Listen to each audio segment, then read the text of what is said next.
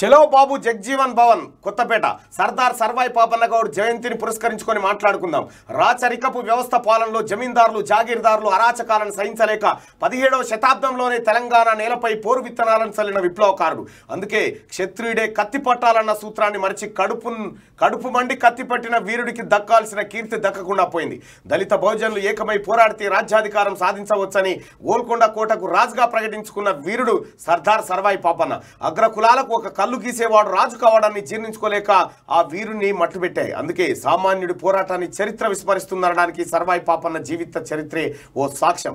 ఇప్పటికైనా ఆ మహనీయుని ఆశయాలను నెరవేరుదాం గౌడన్నల ఐక్యత చాటి చెప్పుదాం. భోజనులందరూ ఒక్కటే చరిత్ర సృష్టించుదాం. ఆ బూరుగు మహేష్ గౌడ్ రాసినటువంటి పెద్దపల్లి జిల్లా ఉపాధ్యక్షుడు రాసిన గౌడ సంఘం. ఇవాళ కరెక్ట్గా పదకొండు గంటలకు కొత్తపేటలోని బాబు జగ్జీవన్ భవన్కి గౌడ సోదరులారా కౌండిన్య అని పేరున్న వాళ్ళంతా రండి. గోత్రం ఉన్న రండి అడిగి సర్దార్ సర్వాయి పాపన్న కేసీఆర్ చేసిన పోరాటం కంటే లక్ష రెట్ల పోరాటం చేసిండు.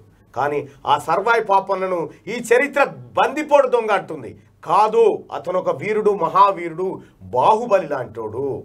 ఆయన చరిత్ర కనుమరుగైంది. ఆ చరిత్రను ఇవాళ మేము మీ ముందుకు తీసుకొస్తాం. రండి. బాబు జగ్జీవన్ భవన్ కొత్తపేటలో ఇవాళ కార్యక్రమం ఉంది. అక్కడికి రావాల్సిందిగా అందరినీ అన్ని అన్ని ఆ ఒక చరిత్ర నిర్మించడం కోసం వచ్చేటువంటి అందరినీ ఆహ్వానిస్తా ఉన్నాం దానికి. ఇవాళ మేము కూడా పోతా ఉన్నాం. ప్రత్యేకంగా తీన్మార్మల్ టీం తరఫున మేము కూడా హాజరు కాబోతా ఉన్నాం సో లెవెన్ ఓ క్లాక్ మన హెచ్డీలో కూడా లైవ్ ప్రత్యక్ష ప్రసారం ఉంటుంది.